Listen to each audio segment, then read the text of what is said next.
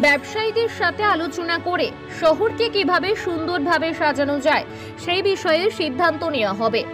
রবিবার ইসলামপুর পৌর ডরমেটরি হলে আয়োজিত পথি পার্শ্বস্থ ব্যবসায়ী সমিতির সতেরোতম দ্বিবার্ষিক সাধারণ সভায় ব্যবসায়ীদের এই কথা জানালেন ইসলামপুর পৌরসভার চেয়ারম্যান কানাইলাল আগরওয়াল। পাশাপাশি এদিন ব্যবসায়ীদের প্লাস্টিক মুক্ত নির্মল শহর গড়ে তোলার আহ্বান জানান তিনি। সংগঠনের পক্ষ থেকে মাধ্যমিক ও উচ্চ মাধ্যমিকে ইসলামপুরের তিনজন কৃতি ছাত্রছাত্রীকে সংবর্ধনা দেওয়া হয়। পাশাপাশি এদিন সংগঠনের উদ্যোগে বাণিজ্য বার্তা নামে একটি ত্রৈমাসিক বাণিজ্যিক বুলেটিনের উদ্বোধন করা হয়। সম্মেলনে উপস্থিত হয়েছিলেন সংগঠনের কয়েক শতাধিক সদস্যরা। তাদের সকলের সম্মতিক্রমে ইসলামপুর পথি পার্শ্বস্থ ব্যবসায়ী সমিতির সভাপতি হলেন সমর দাস। সাধারণ সম্পাদক সুভাষ চক্রবর্তী, কোষাধ্যক্ষ অনির্বাণ নাগ সহ মোট উনত্রিশ জনের কার্যকরী কমিটি গঠন করা হয়।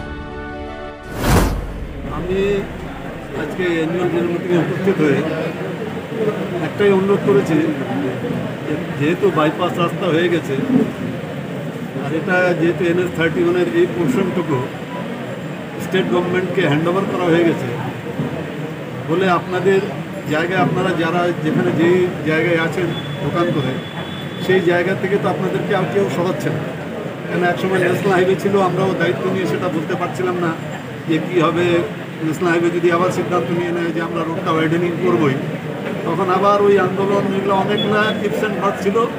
সেখান থেকে আমরা বেরিয়ে চলে আসছি। জায়গাটা স্টেটের আন্ডারে যখন চলে আসছে এখন ড্রেনেজগুলো যেগুলো, দুদিকে ড্রেনগুলো আপনাদের পিছনে আছে, সেই ড্রেনগুলো ওনারাও মানবেন যে পরিষ্কার করা যাচ্ছে না। আর মেন আউটলেটটা এনেছে দু সাইডের ড্রেন থেকেই হয়। ওনাদের যেহেতু আজকে অ্যানুয়াল জেনারেল মিটিং আছে, আমি একটা এই প্রস্তাবটা সমরবাবু আমাকে আগেও দিয়েছিলেন। এনারাও আলোচনা করে যদি একটা পজিটিভ সাইড আসেন ওনারা।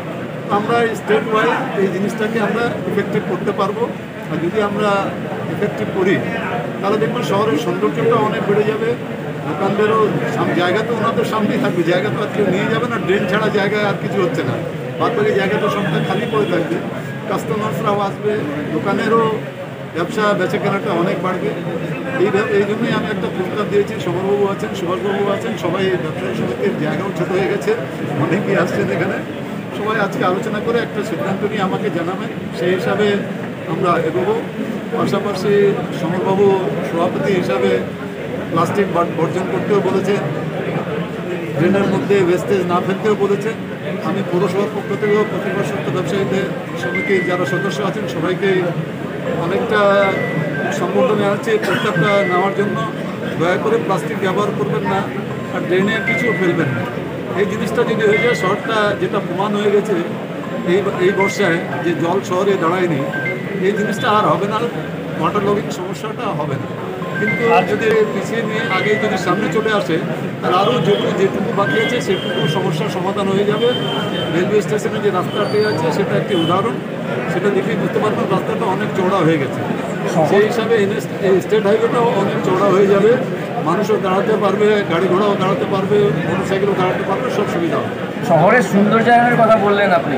কি একাধিক পদক্ষেপ নেওয়া হবে? কি কি নেওয়া হতে পারে যদি একটু বলেছি যে হাইমাস্ট যেখানে এমপির একটা হাইমাস্ট লাইট লাগিয়েছে স্টেশন রোডে ঢুকতে গিয়ে সেখানে সামনে জায়গা আছে।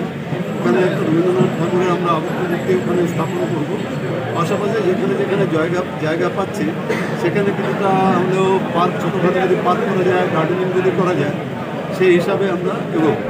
ইসলামপুর পরিবারস্বস্থ ব্যবসায়ী সমিতির সতেরোতম দ্বিবার্ষিক সাধারণ সভা আজকে। তাই ইসলামপুর ডরমেটারি হলে অনুষ্ঠিত হচ্ছে। আমাদের প্রধান অতিথি হিসাবে ছিলেন মাননীয় প্রৌঢ়প্রধান শ্রী কানাইলাল আগরওয়াল এবং আমাদের যে দ্বিতীয় অধিবেশন হিসেবে শুরু হবে, দ্বিতীয় অধিবেশনে আমাদের অতিথি হিসাবে আসবেন আমাদের ফেডারেশনের যিনি আছেন সভাপতি মাননীয় কানাই বোত্রা সাহেব আসবেন এবং অন্যান্য প্রতিনিধিরা।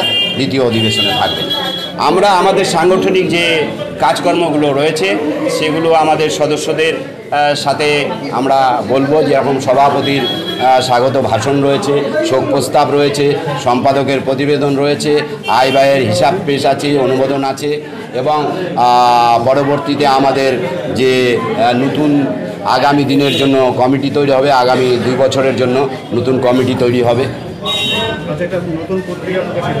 আজকে আমাদের বাণিজ্য বার্তা নামে ত্রৈমাসিক একটি নতুন পত্রিকার আজকে শুভ উদ্বোধন হলো। মাননীয় পৌরপ্রধান এবং আমাদের সভাপতি সহ সকলের হাত দিয়ে।